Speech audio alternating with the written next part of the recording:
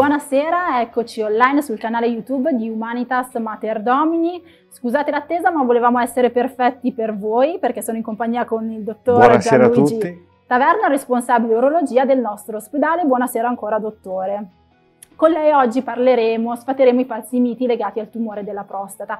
Però se mi concede, un attimo prima vorrei ricordare perché siamo qui oggi. In occasione della festa del papà, il gruppo Humanitas, quindi ospedali e centri medici Humanitas, sono a vostra disposizione con iniziative dedicate alla prevenzione del tumore della prostata, con consulti e visite gratuite fino al 21 marzo. Queste iniziative fanno parte, dottore, del progetto Blue One di Fondazione Humanitas per la ricerca dedicato appunto al tumore della prostata e a quella che è la prevenzione della salute maschile. Prima di iniziare vorrei fare un attimo una contestualizzazione della situazione ad oggi. Eh, in Italia sono circa 564.000 le persone con una pregressa diagnosi. Ogni anno invece si contano circa 36.000 nuove diagnosi di tumore alla prostata. Qual è la conoscenza che oggi hanno gli uomini della propria salute e del tumore della prostata, dottore? Ma allora, oggi a mio modo di vedere le cose vanno molto meglio rispetto a qualche decennio fa. Per l'uomo, eh, anche chi, per chi non è un addetto ai lavori, la prevenzione incomincia a essere importante, questo ce ne rendiamo conto sostanzialmente dalle visite ambulatoriali e dalle richieste che abbiamo. Per cui credo che piano piano rispetto a qualche anno fa le cose stiano migliorando. Si è partiti con la donna e adesso si è arrivati all'uomo. Esatto, infatti se la donna ha sicuramente una maggior consapevolezza mi fa piacere sapere che pian piano anche gli uomini la stanno acquisendo. Assolutamente. Però per farla acquisire sempre di più, ecco perché l'evento di questa sera sfatiamo qualche falso mito legato proprio alla patologia e iniziamo subito con il primo. La salute della prostata è un problema esclusivamente dell'anziano. È falso sicuramente, ma perché? E questo è falso. Ma la prostata, che è una ghiandola che abbiamo, che hanno gli uomini sotto la vescica, tende progressivamente a modificarsi dalla pubertà in poi e può dare principalmente due tipi di problemi. I problemi legati al suo sviluppo benigno, cioè al suo ingrandimento, e i problemi legati allo sviluppo di un tumore. Esistono poi dei soggetti che hanno delle caratteristiche anatomiche particolari, cioè l'imbuto prostatico, cioè quella zona che si dovrebbe aprire quando avviene l'atto menzionale, non si apre correttamente, per cui mima dei disturbi prostatici anche nei giovani.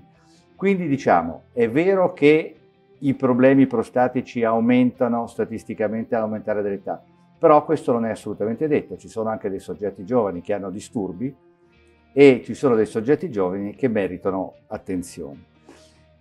Questo per quanto riguarda i disturbi di ipertrofia prostatica benigna, cioè dello sviluppo della prostata. Per quanto riguarda il tumore, non esiste un, un'età assoluta alla quale fa riferimento per farsi controllare, se non in un sottogruppo di pazienti che sono quelli che hanno una familiarità positiva per tumore prostatico.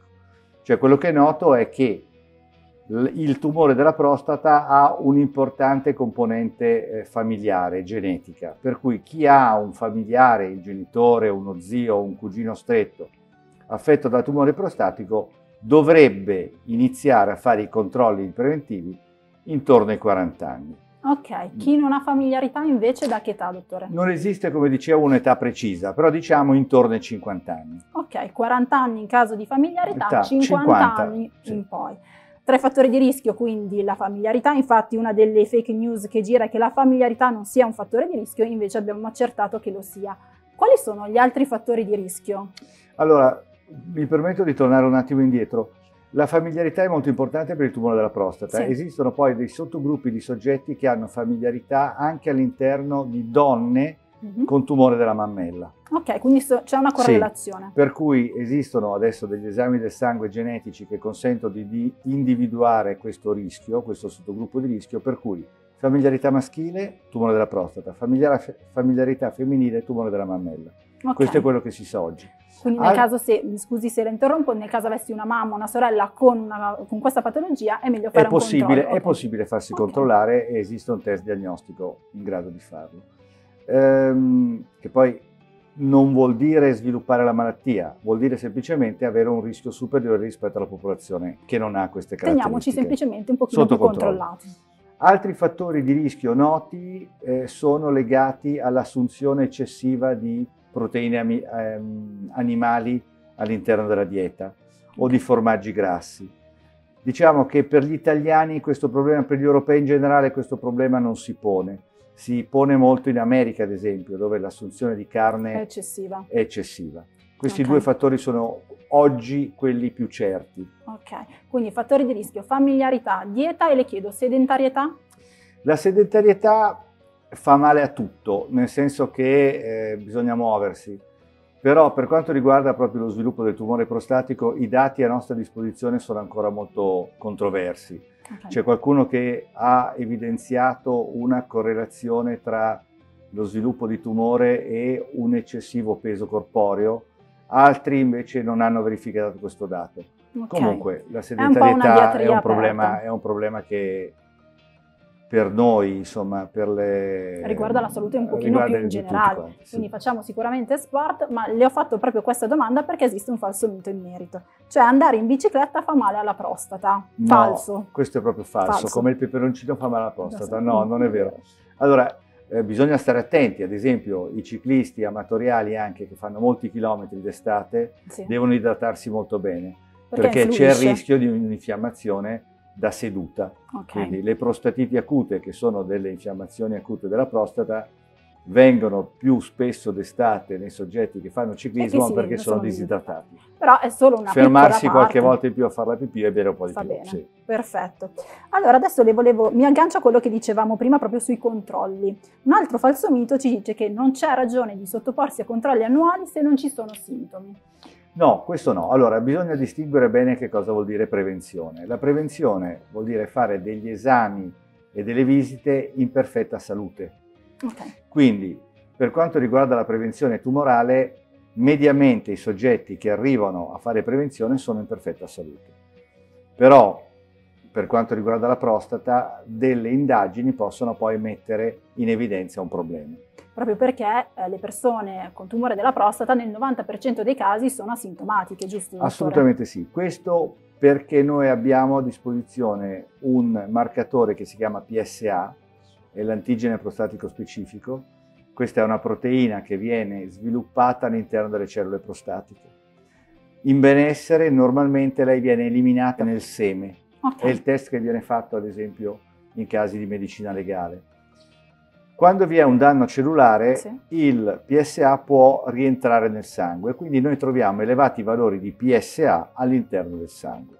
Questo è un campanello d'allarme per un'eventuale patologia prostatica. Bisogna però specificare che esistono milioni di persone che hanno il PSA fuori dalla norma, ma non hanno nessun tipo di malattia ok. come esistono dei soggetti che hanno un PSA normalissimo e invece stanno sviluppando un tumore. Infatti, tra i falsi miti è che un PSA alto vuol dire tumore della prostata. No. Come mi ha detto, che sia basso o che sia alto è un indice predittivo, se non Esatto. erro, però non dà certezza. Quindi non ci allarmiamo e rivolgiamoci sempre all'urologo di fiducia. Assolutamente sì.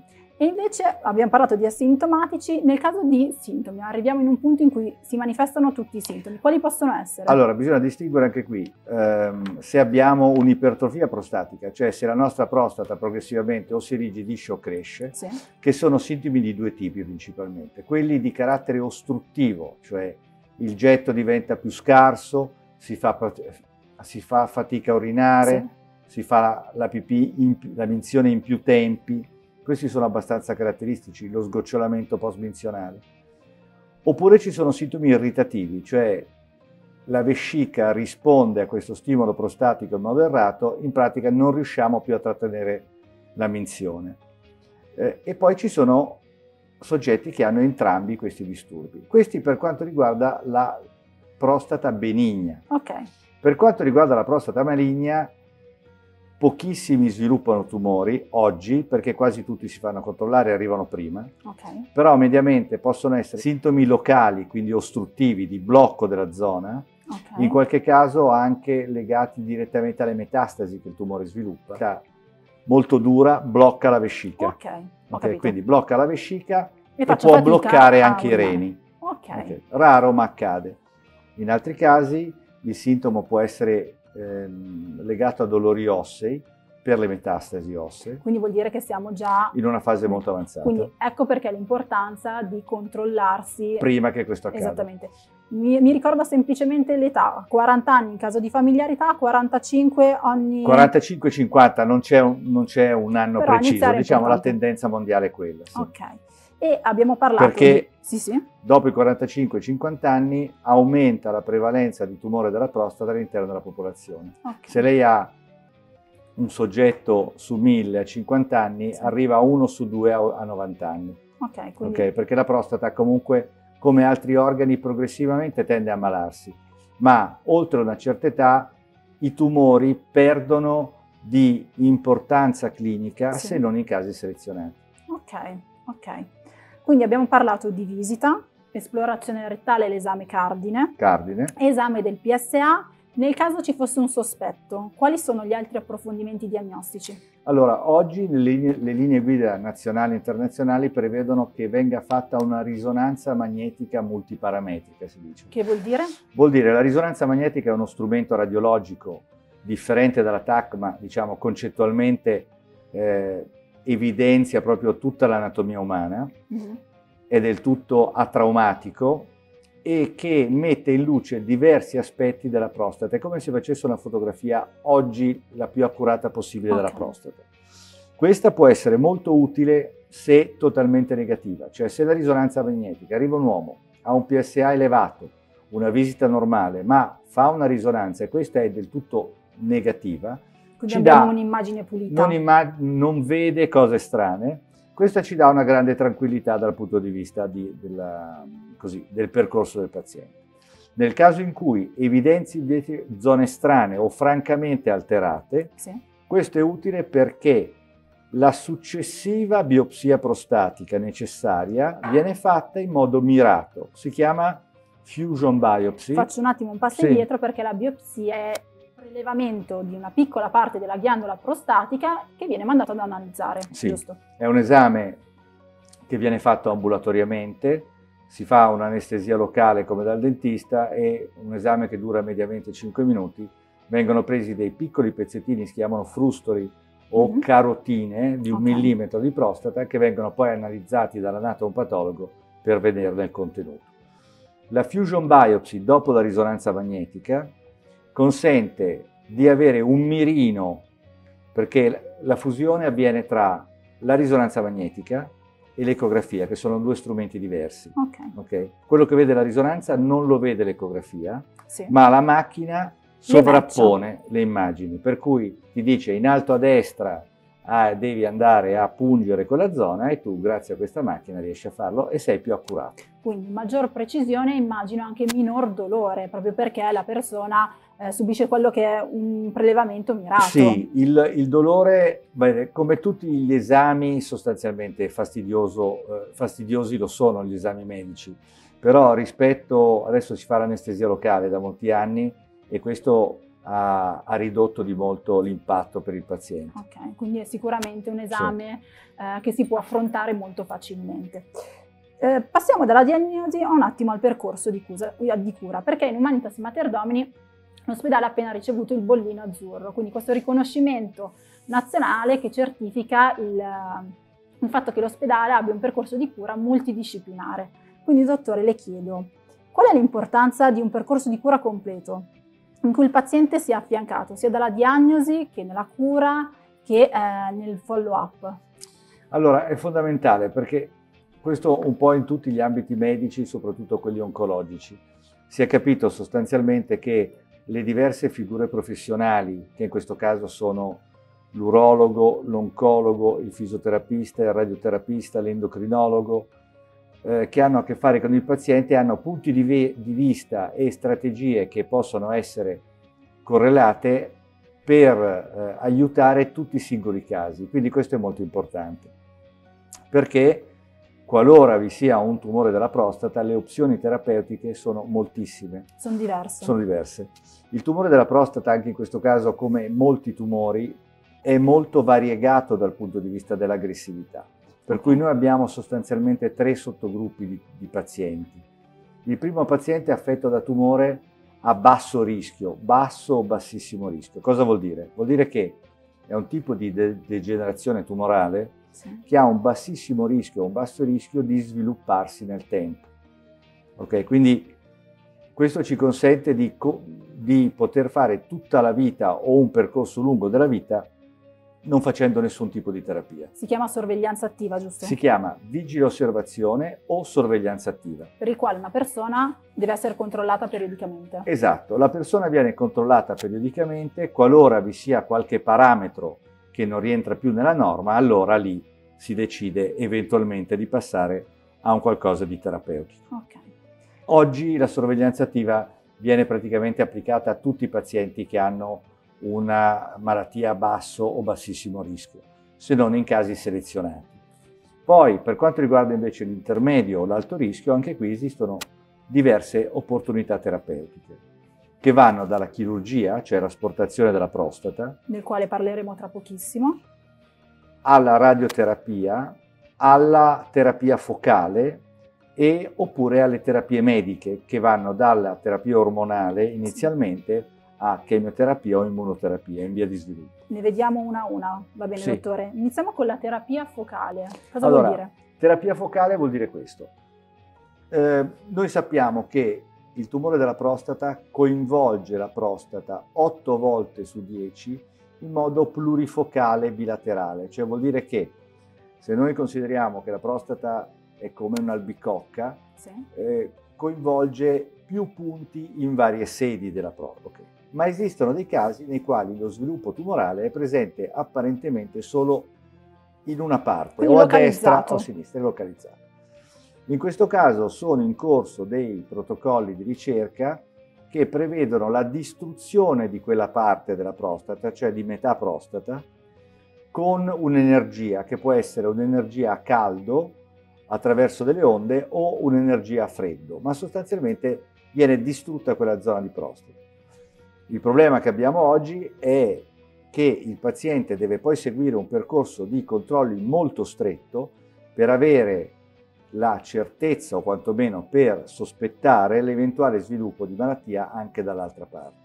E questo controllo come avviene? Sempre con Questo PSA? controllo allora, avviene in diverso modo perché i protocolli di ricerca prevedono diversi, diversi controlli. Avviene attraverso l'esecuzione frequente del PSA, Sì. Di ribiopsie della zona non trattata, di risonanza magnetica e eventualmente di PET. Cioè Ok, cosa Sì. cos'è la PET? La PET è un'altra indagine eh, radiografica Sì. che utilizza degli zuccheri marcati, adesso viene utilizzato il PSMA, che viene sostanzialmente iniettato nel sangue, poi si fanno delle lastre del soggetto e il sangue si va a accumulare dove ci sono delle cellule Mi tumorali. scusi la curiosità, è per capire, il PSNMA, giusto? Sì. È zucchero? Sono, sì, sono delle, delle molecole che vengono praticamente iniettate, è un mezzo di contrasto specifico, ne esistono di vari tipi, a seconda del tipo di malattia. Per la prostata si usa o la colina o il PSMA e queste sono più o meno accurate. Il più accurato attualmente è il PSMA, va a localizzarsi dove ci sono le cellule tumorali. Quindi dà evidenza di quello che è il esatto, e quindi è insomma. importante perché ti dice, ad esempio, è nella prostata destra oppure è in un linfonodo, eccetera, eccetera. Ok. Invece poi abbiamo tra i trattamenti la radioterapia. Oppure c'è la radioterapia. La radioterapia esiste in due forme. La, eh, quella più nota è la radioterapia a fasci esterni, cioè c'è un lettino, Sì. vi è una serie di puntatori e di fasci radiologici che vanno in modo molto selettivo a distruggere l'organo o la zona dell'organo che il radioterapista mira Ok. in questo caso la prostata. Ehm, esistono diversi schemi di radioterapia che vanno dai 7 ai 40 giorni, qui è il radioterapista che decide a seconda del caso e, e dell'utilità. Il vantaggio è che tutti i giorni il paziente va 5 minuti nel centro di radioterapia e, torna a casa, propria. Esiste poi un altro tipo di radioterapia che si chiama brachiterapia, cioè si introducono dei semi radioattivi Sì. in anestesia all'interno della prostata e questi semi radioattivi progressivamente distruggono, annientano il Quello tumore e la prostata. La, la brachiterapia nasce molti anni fa in America e si è sviluppata molto in America, meno da noi, perché In America gli spazi sono molto grandi sì. e non ci sono tanti centri di radioterapia a fasci esterni per la popolazione, quindi era più comodo a un paziente che eh, abitava in un, in un, distretto secondario andare in un grande centro, stare tre giorni lì e poi e tornare a casa, a casa.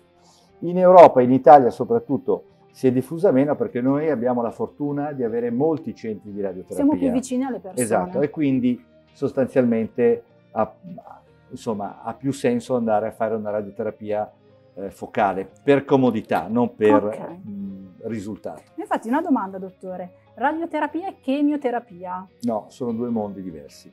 La radioterapia è appunto una terapia radiante che viene utilizzata per moltissimi tumori.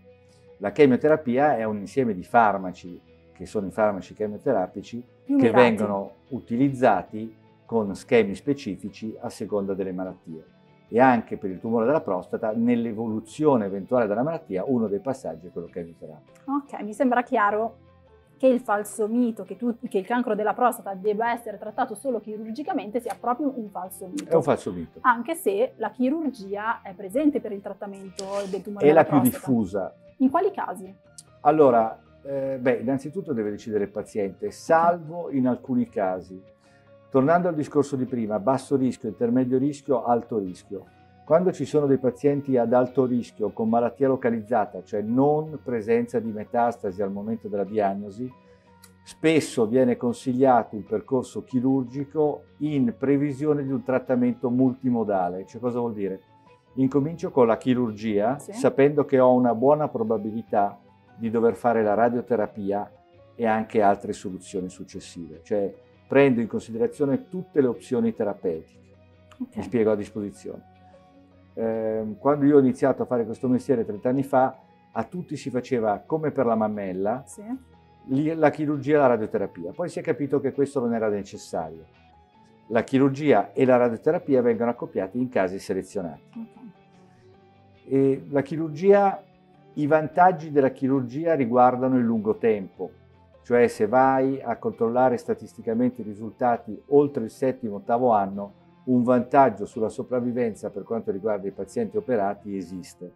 Per cui mediamente nel mondo, paradossalmente, nei soggetti che hanno una malattia o intermedia alto rischio, più il paziente è giovane, quindi più ha aspettanza di vita lunga, più si va verso la chirurgia, mentre più il paziente anziano, salvo casi eccezionali di malattia molto aggressiva, più si va verso la radioterapia. Ok, eh, una domanda dottore, la chirurgia la immaginiamo molto invasiva oggi, ma non è così perché è mini invasiva anche perché siete supportati dalla robotica. Me la può spiegare come funziona l'intervento? Allora, la robotica, il concetto è questo, eh, l'intervento prevede l'asportazione della prostata, delle vescicole seminali che sono come due, sono due piccoli contenitori eh, posteriormente alla prostata, viene tolta la prostata e la vescica viene riattaccata all'uretra cioè okay. quel pezzo mancante viene ricostruito. Questo può essere fatto principalmente o facendo un taglio laparoscopicamente oppure con il robot, cioè il robot che cos'è? È una laparoscopia assistita, ossia si fanno dei buchi, esistono dei microstrumenti che collegati a una macchina molto sofisticata sostanzialmente riproducono le mani del chirurgo in miniatura. Infatti lei, io so che sta separato al tavolo operatorio. C'è una console e, e, e, si lavora in questo modo, quindi è sempre il chirurgo che opera da, questa, da questo robot che, che, che mima, mima, proprio le mani in miniatura del chirurgo, gli Infatti, occhi e le mani del chirurgo. I buchi sono tre buchi sono quattro buchi. Quattro buchi nella sono pancia, quattro giusto? buchi, sì, esistono diverse tecniche, dai 4 ai 6 buchi a seconda del tipo di approccio mm. chirurgico sono, e, e attraverso questi si lavora. Quali sono i vantaggi? Qual è il vantaggio di una chirurgia robotica e non a cielo aperto? I vantaggi sono molteplici. Allora, il primo vantaggio è che vi è un rischio di sanguinamenti intra e perioperatori che è circa 1 a 30. Quindi il rischio di trasfusione o di reintervento è molto inferiore, non è zero, purtroppo okay qualcuno sanguina, deve essere trasfuso, qualcuno deve essere rioperato comunque, però è molto più basso. Questo fa sì che vi siano degenze medie molto più brevi, questo dal punto di vista proprio clinico. Dal punto di vista funzionale, la robotica ha, è stato visto che con lo sviluppo della robotica negli anni si è progressivamente fatto sì di risparmiare molto più gli organi vicini e poter ricostruire molto meglio le strutture locali che vengono tolte o alterate per l'intervento. Infatti proprio sull'intervento ci sono molti dubbi in merito, so, soprattutto su quelle che sono le conseguenze post-intervento, cioè un po' una titubanza. Eh, una di queste è sui problemi di erezione, cioè problemi di erezione a seguito della prostatectomia radicale, quindi della rimozione totale della prostata. Cosa ci può dire in merito? Che è un argomento molto complesso. Allora, ehm, i problemi di erezione avvengono per il trattamento della prostata sia con la chirurgia che con la radioterapia perché la prostata, i nervi erigendi, cioè quelli che determinano l'erezione, sono come due fogli di Domopac sostanzialmente appiccicati alla prostata. Okay. Quindi se togli la prostata hai l'elevato rischio di dover anche togliere i nervi erigenti. In questo la robotica è molto vantaggiosa perché ti consente di risparmiarli, ma i nervi possono essere risparmiati in casi selezionati, dipende dal tipo di malattia, dalla sede, dall'età, eccetera. Poi il rischio di problemi erettili è anche relativo all'età, okay. perché eh, è ovvio che più si va avanti con l'età, eh, meno capacità erettili ci sono, questo mediamente nella popolazione. Se vi è anche un trauma locale, questo anticipa. anticipa. Però paradossalmente con i farmaci a disposizione eh, il problema erettile viene sempre bypassato. Bisogna avere pazienza, c'è una fase di recupero, pian però piano si può recuperare. Proprio sul problema erettile torna ai sintomi. Problema erettile può essere un sintomo del tumore della prostata? Molto raramente. Molto no. raramente. Può quindi... essere soltanto nelle forme molto avanzate, okay. è veramente raro. Quindi eh, tranquillizziamoci su quello, però eh, in caso di intervento abbiamo comunque anche delle soluzioni, proprio perché in Manitas Materdomini so che c'è anche un ambulatorio dedicato. Sì, noi abbiamo dedicato un ambulatorio sia per la ripresa della funzionalità erettile, eh, comunque tutti gli urologi gestiscono questa cosa in tutto il mondo, però eh, per alcuni pazienti che preferiscono essere seguiti proprio in un ambiente dedicato, eh, vi è questa possibilità. Come vi è un ambulatorio per il recupero dell'altra funzione che può essere indebolita. alterata, indebolita, che è quella eh, della continenza urinaria. E su questo, dottore, le chiedo, cosa vuol dire eh, continenza e incontinenza urinaria? Ci sono vari tipi? Di incontinenza sul quale sì, si può... allora esistono, anche questo è un argomento in realtà molto più complesso esatto, di quello che immagino. sembra. Quindi lo allora, solamente. La continenza urinaria per definizione è fare mingere quando uno vuole senza esatto. perdere le urine. Um, sia gli uomini che le donne avanzando nell'età hanno problemi di incontinenza, questo si Ci sa. può stare.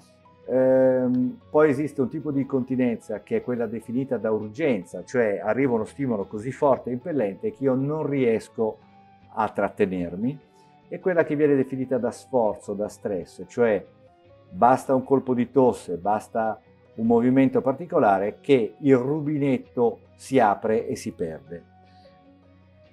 Esistono per entrambi questi tipi di incontinenza poi dei presidi terapeutici che vanno dai, da, da una riabilitazione fisioterapica, una ginnastica che non è molto dissimile da quella postpartum le donne. È così. E, esatto, specifica oppure a dei farmaci oppure addirittura degli interventi chirurgici. Quindi la paura di incontinenza urinaria a seguito dell'intervento può essere reale, è reale? Allora, io devo essere molto sincero, eh, non, sempre meglio non essere né operati né radiotrattati. Va, va, messo sul piatto della bilancia il rischio della salute che ti determina un tumore o altri tipi di malattie e il rischio chirurgico, radioterapico, farmaceutico. Quindi il rischio zero non esiste.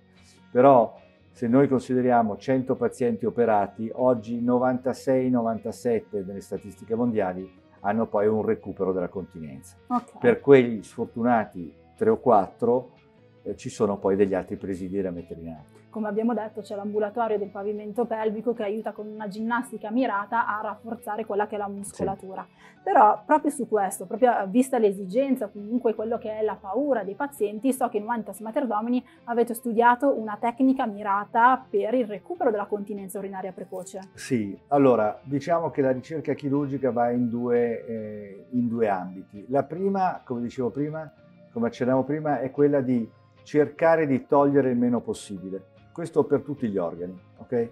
Quindi preservare il più possibile le strutture naturali. La seconda, e in questo aiuta molto i robot, la seconda è quella di cercare di ricostruire i piani e le strutture anatomiche come se la prostata ci fosse ancora. Perché quando si toglie la prostata, gli angoli tra vescica e uretra vengono modificati perché non c'è più un pezzo. Si, si disequilibria esatto, quello che è un equilibrio. Esatto, e questo, eh, e questo interviene per, sulla per ripresa della continenza. Allora le tecniche che abbiamo sviluppato noi, che si chiamano sling, cioè sollevamenti sol- mm-hmm. sostanzialmente, consentono, utilizzando delle strutture muscolari anatomiche, cioè non inserendo qualcosa di diverso. Quindi membrane di, della persona. Della persona, vengono preservati dei nervi, dei muscoli specifici che vengono poi utilizzati per riposizionare quella zona nella zona anatomica. E questo consente, ricostruendo poi intorno tutto quello che c'era prima, di, eh, di avere una percentuale di soggetti continenti nel primo periodo post-operatorio molto più alta rispetto a qualche anno fa.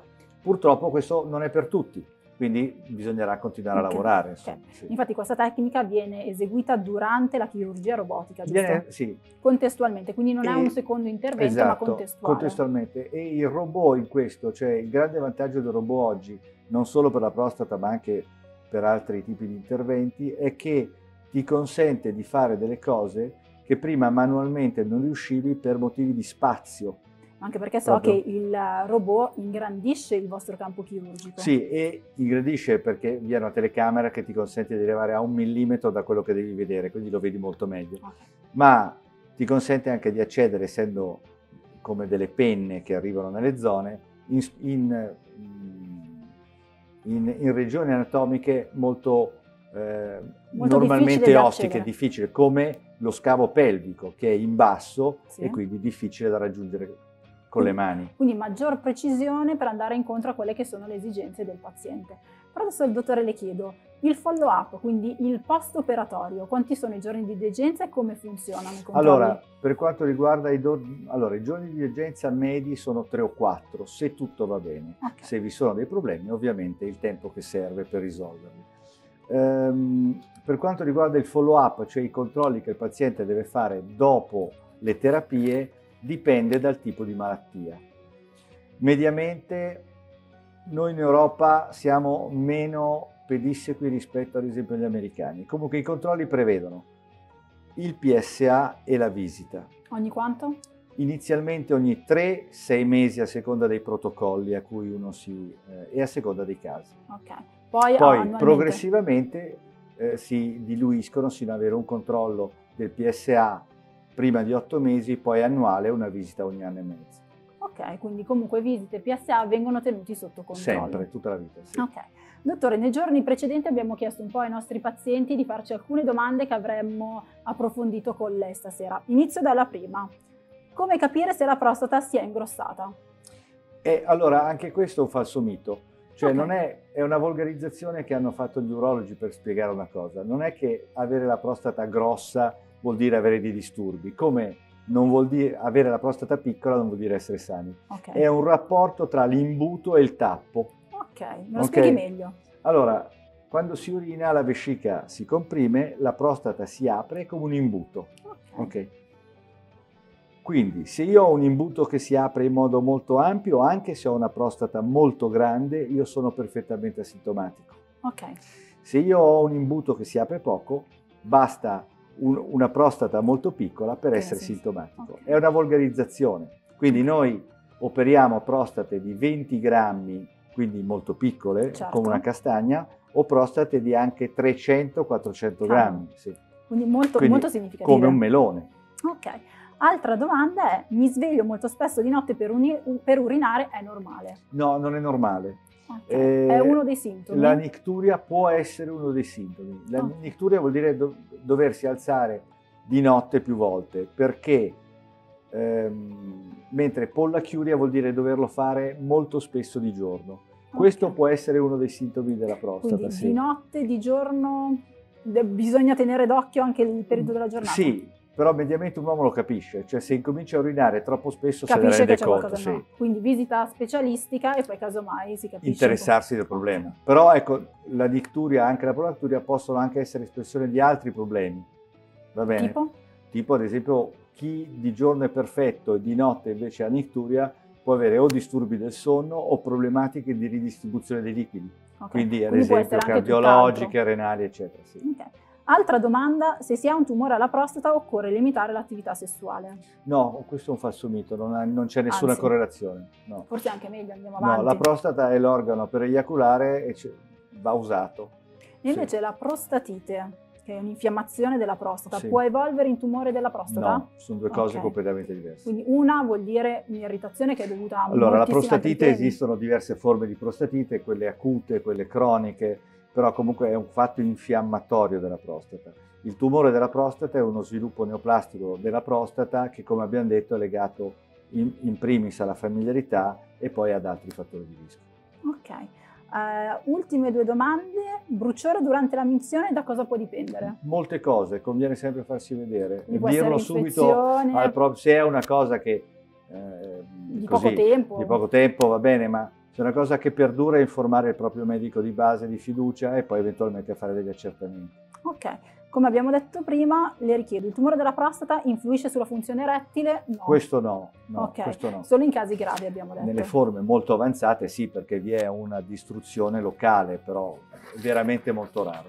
Ok, dottore, io la ringrazio. Grazie a voi. Abbiamo fatto un po' un excursus su tutto quello che è il tema del tumore della prostata, ma anche altre patologie. Eh, nel caso vorreste rimanere informati, sul nostro sito abbiamo una pagina dedicata al tumore della prostata. Intanto, dottore, la ringrazio. Grazie auguro buona Francesca, serata grazie a lei. E auguro a tutti una buona serata. A presto.